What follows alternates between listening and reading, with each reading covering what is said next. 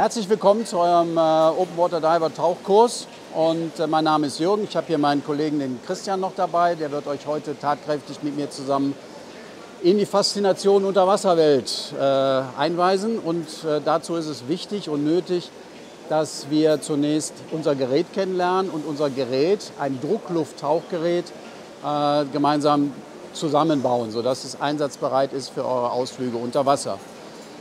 Ich habe euch äh, hier versammelt und habe gesagt, legt bitte die Flaschen hin. Das hat einen Hintergrund. Wenn wir weggehen von einer Tauchflasche, ist es gefährlich, wenn sie steht und jemand schmeißt diese Flasche um. Da sind 200 Bar drin. Das heißt, zum Vergleich, ein Autoreifen hat 2 Bar. Wenn ein Autoreifen Bumm macht, macht das richtig Bumm. Wenn 200 Bar Bumm machen, macht das richtig Bumm. Deshalb, wenn ihr weggeht, immer die Geräte bitte hinlegen. Was wir heute verwenden, ist eine 10 Liter Flasche, eine 10 Liter Volumenflasche, ist mit 200 Bar gefüllt. Wenn ich das multipliziere, habe ich einen 2000 Liter Luftvorrat, der eine ganze Weile unter Wasser reicht.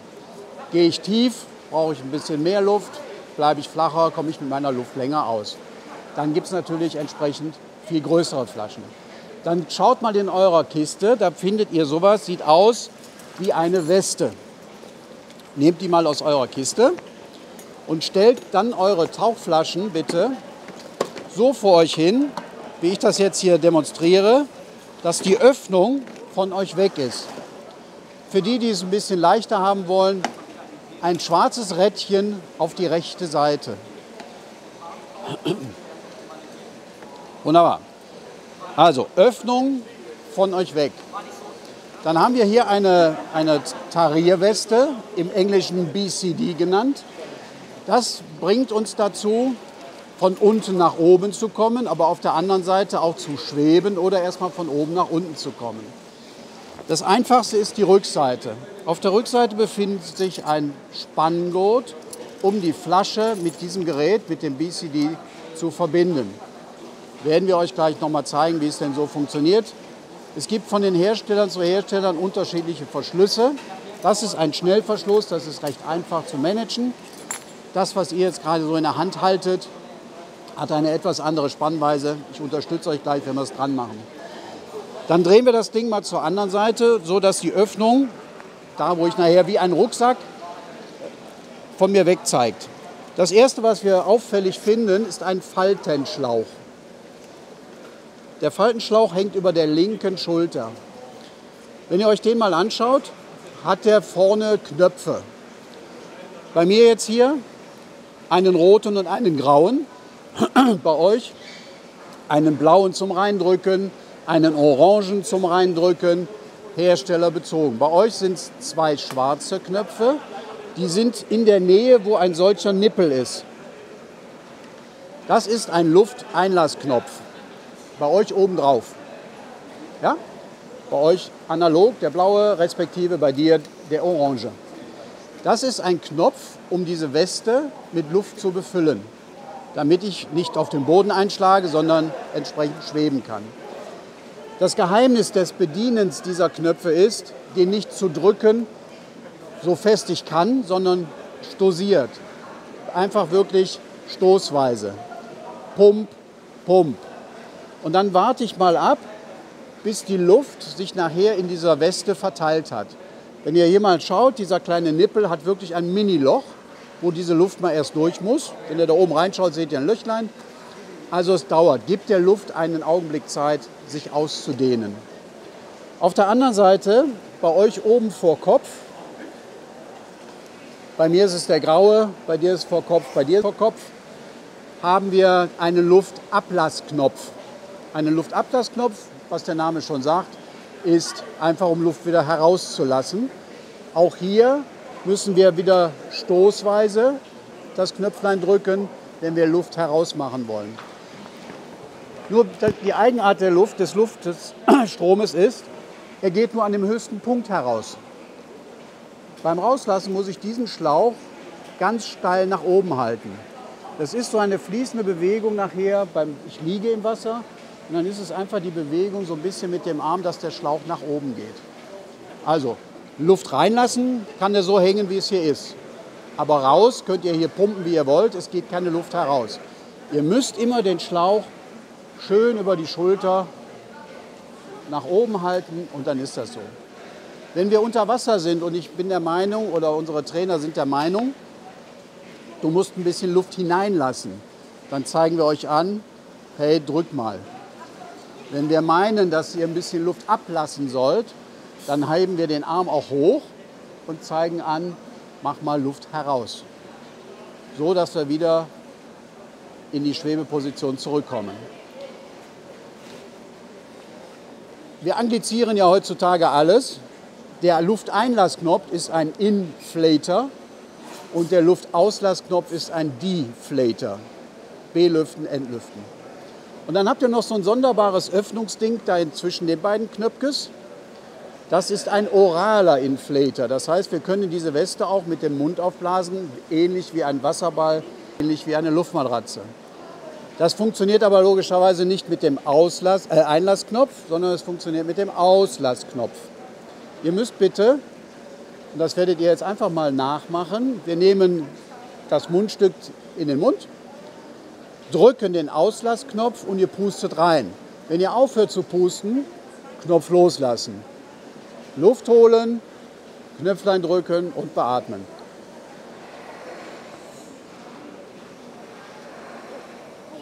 Ja, da merkt ihr relativ schnell, dass ihr das Ding mit dem Mund aufblasen könnt. Das ist eine Notvorrichtung, die jedes Jacket, jedes BCD haben muss. Blast euch mal drei, vier, fünf Mal da rein, dass ein bisschen mehr Luft drin ist.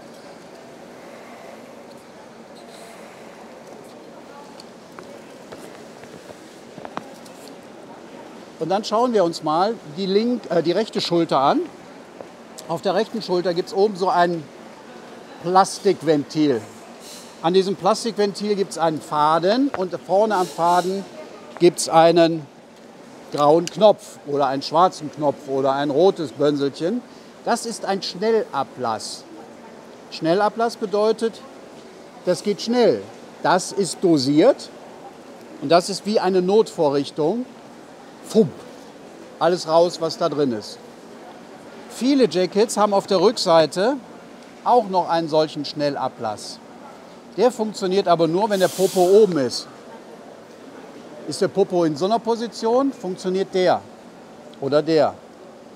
Ist der Popo nach oben, funktioniert der. Dran ziehen, Luft ist schlagartig weg.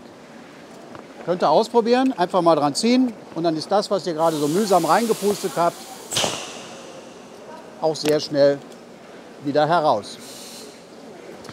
Ansonsten befindet sich an diesem Teil ein Bauchgurt, um das Jacket am Körper zu fixieren.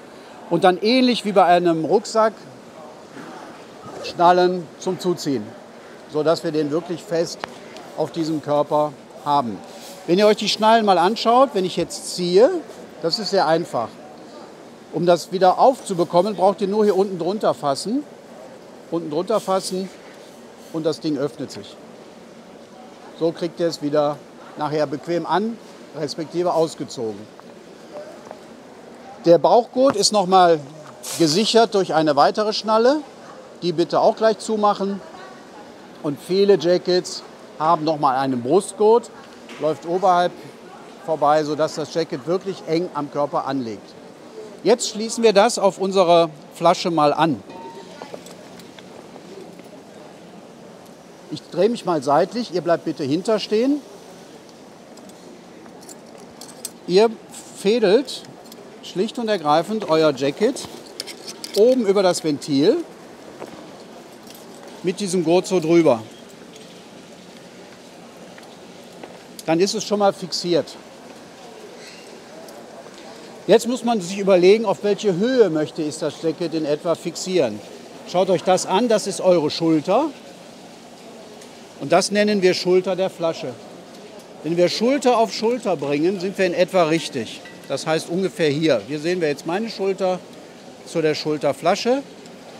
Bei mir ist es relativ einfach, ich brauche es nur umklappen und wir befestigen es schlicht und ergreifend. Dann drehen wir das Ganze rum. Ihr fasst mal in die Schultergurte und guckt, ob die Flasche jetzt hält, ob sie runterrutscht oder ob sie einfach fest ist. Schaut mal in eurer Kiste. Dort findet ihr ein Gerät mit ganz vielen Schläuchen dran. Zunächst sieht das aus wie ein Wirrwarr. In der Mitte gibt es was ganz Schweres. Dieses ganz Schwere in der Mitte ist ein Druckminderer. Ihr könnt euch ja vorstellen, ihr sollt aus dieser Flasche atmen und 200 Bar in den Mund geblasen, dann kommt es an den Füßen wieder raus. Das muss gemindert werden und das ist dieses Gerät in der Mitte. So verrückt sich das anhört, das darf alles nur nicht nass werden. Innen. Deshalb gibt es hier so ein Käppchen drauf. Das Käppchen bitte abmachen, abschrauben, je nachdem. Hersteller ist das schon mal unterschiedlich. Wenn die Kappe lose ist, dann werfen wir das Käppchen bitte in unsere Box. Ist die Kappe mit einem Band befestigt, bleibt es einfach da dran. Dieser Druckminderer, den kann man so ein bisschen drehen, dass man den gelben Schlauch auf der rechten Seite findet, an seinem rechten Arm. Aus eurer Sicht sieht das so aus. Wir werden einmal an dem Dingelchen drehen oder das Festhalten, das Käppchen und das Handrad drehen. Wunderbar. Schmeiß einfach die Kappe in eine Kiste. Weil die machen wir nachher, wenn wir auseinanderbauen, wieder drauf. Also so drehen, dass ihr den gelben Schlauch auf eurer rechten Seite findet. Zufällig hängt da unten noch was dran an diesem gelben Schlauch. Dort befindet sich was, was wir in den Mund stecken können. Und schaut mal, in der Nähe des gelben Schlauches gibt es noch einen schwarzen Schlauch. Auch da hängt was dran. Das, was da dran hängt, ist ein zweiter Druckminderer. Der erste, der jetzt hinter meiner Schulter liegt, ist von 200 Bar auf grob 10 Bar. 10 Bar ist immer noch zu viel. Dann geht der hohe Druck in einen Schlauch wird gemindert in dieser Stufe auf einen Mitteldruck und wird hier nochmal gemindert auf einen sogenannten Umgebungsdruck. In dem Druck, wo wir gerade sind. Mit diesem Teil kann man auf Wasseroberfläche in 5 Meter, in 10 Meter, in 50 Meter immer gleich atmen. Deshalb heißt das Ding Atemregler. Er stellt das automatisch für euch ein. Und dann schaut mal, da hängt ein Mundstücklein dran. Dieses Mundstücklein muss immer oben sein. Genauso. Niemals so rum versuchen, den in den Mund zu stecken. Dann seht ihr hier Öffnungen. Und es könnte sein, dass in die Kammer, wo ihr daraus atmet, Wasser hereinkommt. Wasseratmen ist nicht so schön. Von daher immer darauf achten, dass das Schläuchlein so hängt, dass das Mundstück oben ist. Wenn ihr den jetzt in den Mund steckt, fasst ihr bitte den Schlauch immer so an. Also nicht hier drauf drücken, sondern einfach immer so. Das hat den Vorteil, dass wir hier an einen Druckknopf kommen. Drück mal da drauf. Merkst du, das ist ein Knopf. Und der muss immer frei sein für euch. Wenn ihr den so anfasst, komme ich nicht mehr auf diesen Druckknopf. Wenn ihr nämlich mal in das Mundstück schaut, seht ihr, da könnte Wasser rein. Wenn ihr den jetzt unter Wasser herausnehmt, kommt da auch Wasser rein. Wenn du den in den Mund steckst, schmeckt nicht. Von daher ist es wichtig, den Schlauch so anzufassen, den Atemregler in den Mund zu stecken und zunächst auszuatmen, bevor ich einatme. Durch das Ausatmen pumpt ihr das Wasser aus dieser kleinen Kammer wieder heraus. Also Mund stecken. Es reicht wirklich Ihr müsst nicht jetzt riesig tief Luft holen, um das da rauszupumpen. Jetzt ist euch vielleicht ein wenig die Luft ausgegangen. Es ist äh, vielleicht so, dass ihr nicht geluft, äh, genug Luft habt. Dann könnt ihr euch helfen, indem ihr den Knopf drückt. Der Knopf ist die gleiche Geschichte im Endergebnis, wie als wenn ihr da reinpustet. Also, oder reinstecken und Knopf drücken. Während ihr den im Mund habt, werden wir nachher ein wenig ausprobieren, auch unter Wasser, sodass ihr das Gefühl mal kennenlernt. Für den Fall der Fälle, dass mein Atemregler versagt, kommt nun endlich der gelbe ins Spiel. Das ist nämlich eure Redundanz. Ein Ersatz, wenn er nicht mehr geht. Dann nehmt er den. Gleiche Funktionsprinzip, was wir gerade hatten, aber ihr erkennt, dass die Schläuche unterschiedlich lang sind. Der schwarze ist kürzer als der gelbe. Den gelben nennen wir Taucher Oktopus, alternative Luftversorgung. Der Oktopus-Einsatz ist entweder für mich selbst oder für meinen Buddy, für meinen Tauchpartner, wenn der ein Problem hat. Ich fasse wieder hier an, kann das meinem Tauchpartner herübergeben und er kann atmen und könnte auch an den Druckknopf ganz bequem den leer pusten. Meine eigene Sicherheit, das Backup für meinen Tauchpartner. Okay, soweit klar? Wenn ich wirklich mal in eine Situation komme, dass ich keine Luft habe, gibt es das Unterwasserzeichen, ich habe keine Luft mehr. Wenn ich feststelle, ich habe noch ein wenig Luft, aber nicht mehr viel, kann ich das unterstützen. Hey, ich habe keine Luft mehr, aber bleib mal noch ruhig. Gib mir mal Luft. Wenn du wirklich keine Luft mehr hast, wird das Zeichen sehr schnell kommen. Und dann möchte man, dass der Tauchpartner relativ schnell reagiert. Wenn er nicht schnell reagiert, greife ich seinen gelben Schlauch und stecke ihn mir selber in den Mund Reagiert er schnell genug, wird der Tauchpartner mir helfen und mir meinen, das gelbe Teil in den Mund schieben. Habe keine Luft.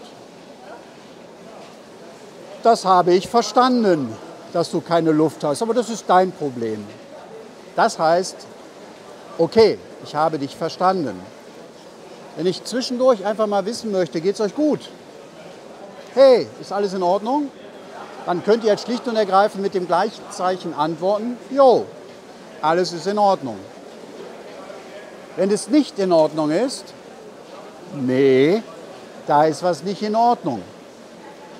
Jetzt stelle ich mir die Frage, was ist denn nicht in Ordnung? Wenn du dann sagst, du, mein Ohr spielt nicht ganz so mit, oder ich habe einen Wadenkrampf, oder ihr zeigt einfach auf die Stelle, wo euch irgendetwas stört, wo irgendetwas nicht in Ordnung ist. Nicht in Ordnung, alles wunderbar. Wir haben ein Problem, ich habe keine Luft. Zack, kriegst du den gelben Schlauch, dann lasse ich dich drei, viermal schnaufen und dann sage ich, alles okay, wir tauchen auf. Dann kann die Antwort wie sein, jo, wir tauchen auf. Wenn das nur eine Zwischenepisode war oder wir an der Wasseroberfläche sind und wir machen uns bereit zum Abtauchen, hey, alles in Ordnung? Ja, alles in Ordnung. Wir tauchen ab. Wenn wir an der Wasseroberfläche abtauchen, kommen wir wieder zu unserem Jacket zurück. Den Schlauch ganz nach oben. Ihr steht im Grunde senkrecht im Wasser, atmet jetzt kräftig aus. Dann geht die Luft aus der Lunge heraus, die Luft aus dem Jacket heraus und ihr sagt ungefähr ein, zwei Meter in die Tiefe. Und dann können wir in die Schwimmposition gehen. Ganz normal in eine waagerechte Position. Das ist erstrebenswert, dass wir das heute in dem Kurs hinbekommen. Und gerade schön im Wasser liegen. Das wäre so unser großer Plan. Wenn wir jetzt äh, gerade bei den Zeichen sind und wir sitzen unter Wasser, wir knien uns mal hin. Hey, knie dich mal hin. Oder hey, geh mal auf deine Knie, dann geht ihr auf die Knie. Wenn ich den Inflator hochhalte und mache so, bedeutet das, lasst mal die Luft ab, damit wir schön auf dem Boden knien können, im Bad oder auf einer Plattform im See. Weil dann können wir Übungen durchführen, ohne dass wir anfangen, durch das Jacket mit Luft zu wackeln. Und dann werdet ihr das Zeichen sehen, Stopp. Stopp bedeutet, stellt alles ein, außer atmen. Das natürlich weiter. Ja? Stopp und schau mal auf mich. Okay. Und dann könnt ihr so ein bisschen enger zusammenrücken, dass ich euch sehe. Und dann werden wir eine einzelne Übung sehr langsam vormachen. Sehr langsam vormachen bedeutet zum Beispiel, wir versuchen dieses Schweben wie der Astronaut im All hinzubekommen. Wir nennen die erste Übung Pivoting, pivotieren, auf den Flossenspitzen balancieren. Dann liegen wir sehr flach auf dem Boden, die Flossen stehen hinten auf dem Boden. Und dann werden wir euch anzeigen, hey, atme mal ein. Und ihr seht, meine Daumen zeigen nach oben, dass wir auftauchen. Das heißt, wir bewegen uns mit dem Oberkörper jetzt langsam nach oben, werdet ihr merken. Ausnahmsweise kommt dann das Zeichen auch, halte mal die Luft an. Da wir nicht mehr hoch und runter gehen, ist das kein Problem. Aber sonst beim Tauchen immer weiter atmen. Niemals die Luft anhalten, immer atmen. Okay? Und wenn wir dann stehen, dann können wir sagen, okay, jetzt gehen wir runter. Ich atme aus. Dann werdet ihr merken, okay, da stehe ich jetzt und dann macht es bapp und ich bin wieder unten. Dann gibt es das wunderschöne Zeichen dafür, hey, wir wippen mal ein bisschen. Das werden wir heute öfter machen. Ebenso werdet ihr das Zeichen finden, ich rühre mal in den Topf. Nein, das heißt einfach, wir schweben auf der Stelle. Ähnliche Übung, nur dass mal bleiben die Flossen nicht auf dem Boden, sondern wir bewegen uns nach oben in irgendeiner Position, ohne mit den Armen und den Beinen zu wippen. Wir versuchen einfach sehr neutral zu sein und zu schweben. Das mal soweit als Vorgriff. Unser Atemregler. Dann haben wir auf der anderen Seite einen Schlauch, der geht ins Nichts. Am Ende gibt es hier eine Schnellkupplung. Ihr seht, die könnt ihr runterziehen. Jetzt können wir dreimal überlegen, wo kommt der wohl hin? Auf unsere Weste, wo ich euch vorhin gesagt habe, da wo der Nippel ist. Zurückziehen, auf den Nippel aufschieben, loslassen und das Ding arretiert. Jetzt noch nicht bitte. Das ist der Inflator Schlauch. Der letzte Schlauch, den wir haben, ist unsere Tankanzeige. Wenn ihr da mal genau drauf schaut, seht ihr, dass da ein Bereich ist von 50 bei euch, der rot gekennzeichnet ist. Das bedeutet, haben wir diese 50 Bar erreicht von unseren ursprünglichen 200, ist der Tauchgang zu Ende. Ist unsere Stunde am Ende angekommen. Und dann kommt das Zeichen von uns. Ich habe 50 Bar erreicht. Dann sagt der andere, alles klar, habe ich verstanden. Wir tauchen langsam auf. Und dann erreichen wir die Wasseroberfläche in etwa mit 45, 40 Bar Restdruck. Wenn wir einfach mal wissen wollen, hey, wie viel Luft hast du denn noch? Dann fragen wir mit der blanken Hand und klopfen drauf. Hey, sag mal, wie viel Luft hast du noch? Dann geht von euch der Griff zu diesem Instrument. Ihr schaut da drauf und stellt fest, ich habe noch 120 Bar. Jetzt müssen wir überlegen, wie zeigen wir jetzt dem anderen 120 Bar an, weil wir haben den Atemregler im Mund. Kommunikation unter Wasser geht dann halt nur über Zeichen. Das bedeutet wie beim Timeout 100. Und dann nehmt ihr einfach die Finger. 10, 20, 30, 40. Und was war 50? Hm? Bitte nicht 10 so anzeigen, weil das hieß was anderes. Also, wenn man sagen will, du hast noch 110 und jemand macht so, dann wird man auf der anderen Seite so große Augen sehen und sagen, warum will er denn oder sie jetzt hoch? Also immer die Finger nehmen und nach oben zeigen. 100, die Finger 50. Sag mir mal, wie viel Druck hast du noch? Wenn wir Übungen unter Wasser machen, das heißt, wir machen irgendwelche Übungen sehr langsam vor, extrem langsam, betonen sehr die Details, wo es drauf ankommt, sodass ihr das wirklich erkennt, drehen uns vielleicht sogar mal ein wenig dabei, dass ihr das noch besser seht.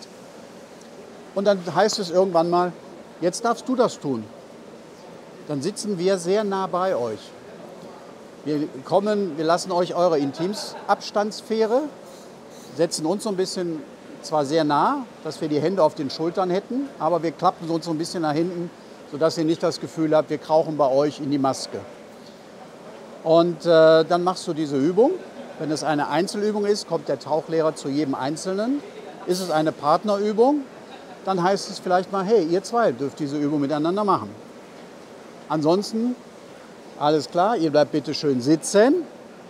Ich komme jetzt zu dir. Und dann heißt es, mach mal.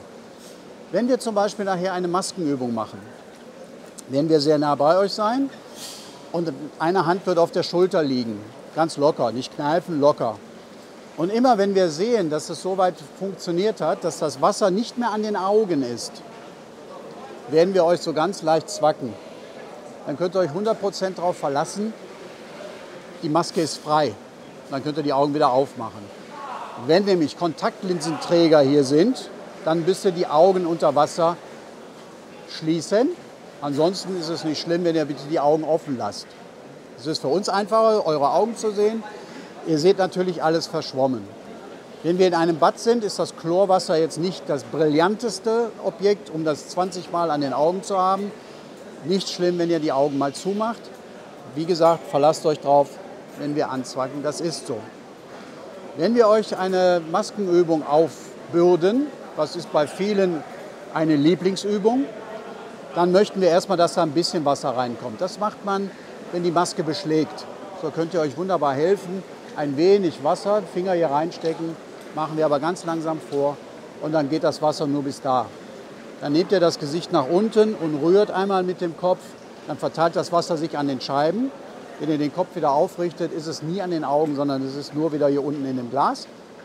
Und dann kommt diese Übung, dass wir das Wasser aus der Maske herausbringen müssen. Das geht dann über die Nase. Durch die Maske vom Gesicht könnt ihr durch die Nase nicht mehr atmen. Ihr könnt aber ausatmen. Das müsst ihr bitte auch währenddessen immer mal tun. Das macht man aber automatisch, damit es keine Unterdruckverhältnisse in der Maske gibt. Also einfach zwischendurch mal und dann ist das wieder alles schön und frei. Wenn wir dann sagen, jetzt machen wir die Maske mal ganz ab, ist sie natürlich ganz voll.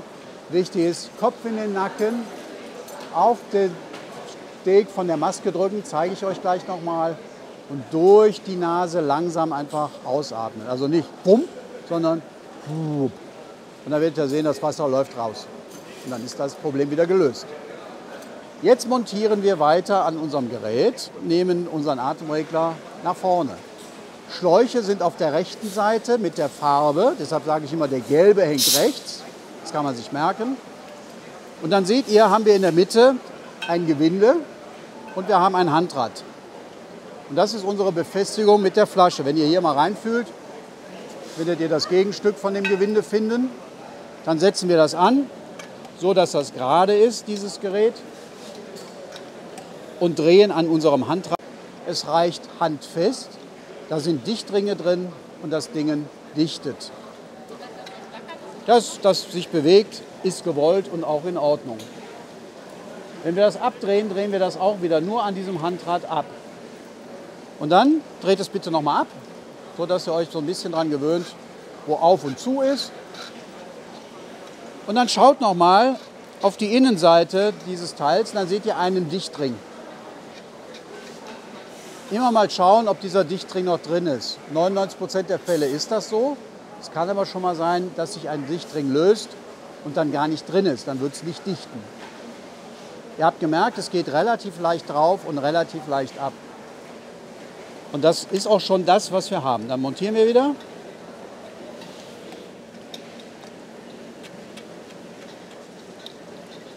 Wenn wir montiert haben, handfest, dann suchen wir unseren Schlauch ins Nix. Wenn wir den Schlauch ins Nix haben, habt ihr irgendwo diesen Faltenschlauch und in der Regel ist der nochmal mit einer solchen Schluppe befestigt. Dann stecken wir den einfach mit da durch.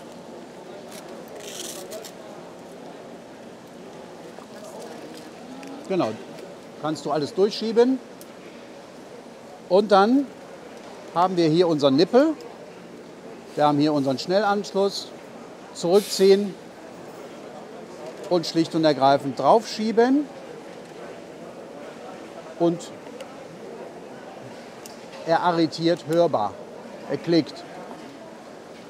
Wir werden nachher auch eine Übung machen, dass wir das äh, unter Wasser mal abkoppeln und unter Wasser wieder draufkoppeln.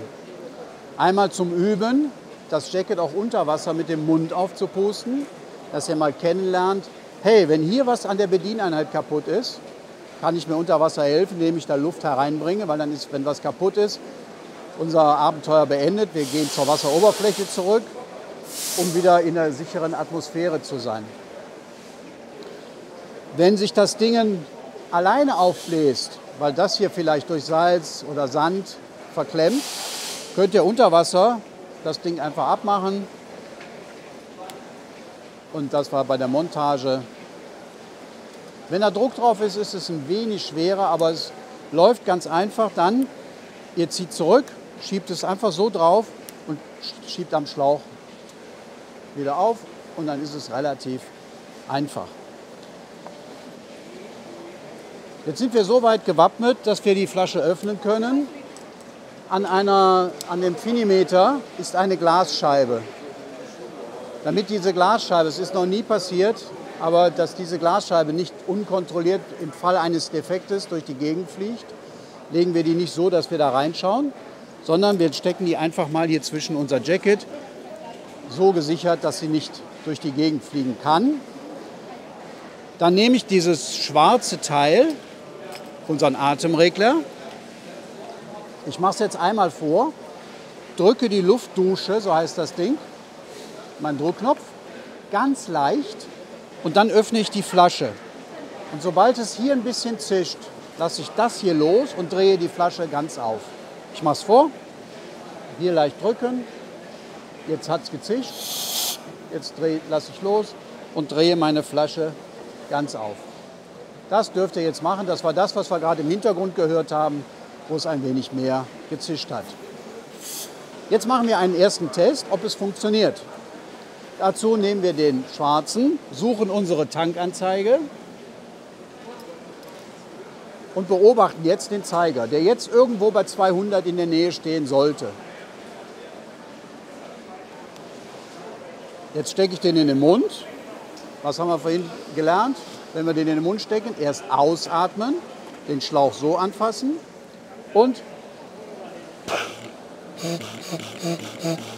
das, was jetzt so brummt, ist eine Membrane, die da drin sind. Das ist, wenn es nass ist, weg. Also Mund stecken, atmen, hier drauf schauen, machen. Einfach rein Mund, pusten und dann atmen und den Zeiger mal beobachten. Der Zeiger muss annähernd stehen bleiben. Der darf nicht zappeln, der darf nicht auf Null gehen. Und dann ist auch alles in Ordnung, was ihr da montiert habt. Es schmeckt ein bisschen nach Medizin, das ist, weil die natürlich desinfiziert sind. Es ist so ein Gemisch aus Gummimedizin. Was man dürft raten, was tun wir jetzt? Wir checken auch natürlich unsere Alternative beobachten unseren Zeiger und alles ist gut.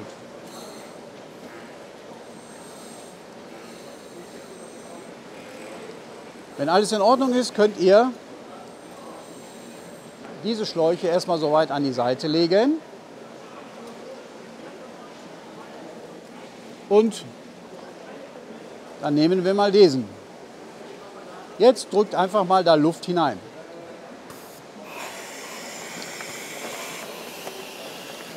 Und ihr merkt, es fängt irgendwann an zu zischen. Die können nicht platzen, da ist ein Überdruckventil drin.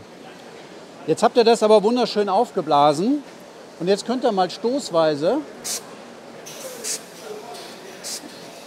die Luft ablassen. Ihr merkt, das geht wirklich stoßweise. Ja? Kann ich gar nicht mit einer Hand. Nee, ich wollte erstmal überhaupt was einkriegen. Das ist nicht nur hier, sondern auch da. Ja? Dann blast es bitte nochmal auf. Und dann zieht mal an eurem Schnellablass. Und dann seht ihr, wie schnell der Sack schlaff ist. Jetzt sind wir mit unserem Gerät soweit fertig. Und jetzt können wir unser Gerät einfach die Schläuche nehmen, die jetzt noch frei hängen, legen die in die Mitte und können unser Gerät ablegen, sodass keine Schläuche in der Gegend herumbammeln und der nächste dran liegen bleibt. So reicht schon. Und dann einfach auf die Seite legen und dann liegt es gesichert. Sehr gut, einfach ablegen. Zwei Sachen noch vorweg, bevor wir uns mit der Maske, dem Schnorchel und dem Flossen auseinandersetzen. Wir schauen uns nochmal an von der Idee, wir gehen gemeinsam tauchen. Wir sind abgetaucht, wir machen irgendwelche Übungen.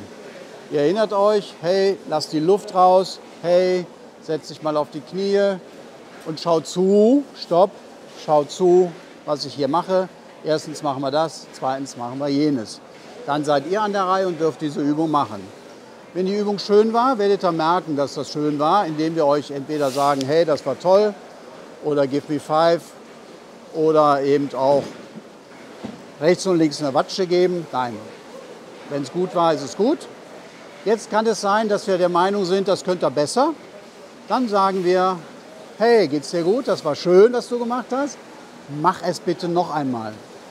Spring noch mal in diese Übung hinein, mach es bitte noch einmal. Und das wäre auch fast unser letztes Zeichen für den Tag gewesen. Und dann gehen wir auch tauchen. Wichtig ist nochmal, ich muss Pipi.